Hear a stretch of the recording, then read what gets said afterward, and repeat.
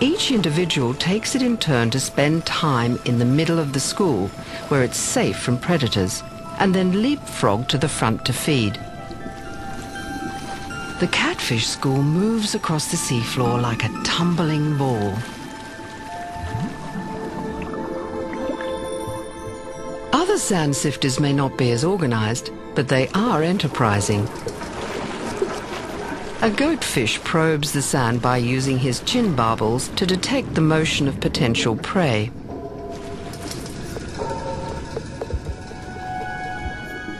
A goatfish may have his head in the sand, but barred gobies actually eat it, filtering out micro